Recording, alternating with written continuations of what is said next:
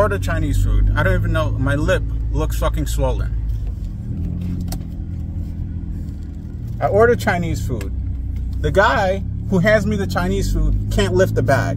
All right. I checked the staple on the bag. It's on the bag. Right. And this is the fucked up thing. He took the longest way to get to me. All right. Now, guess what? Guess what? The moment I ate the food, my face started swelling. My lip looks swollen right now. Guess what? I show up at a Burger King. The guy's speaking extra fucking low.